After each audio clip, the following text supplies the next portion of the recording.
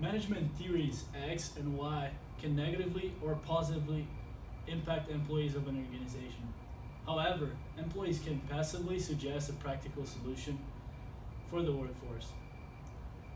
Today we're going to be going over the explanations of theory X and Y.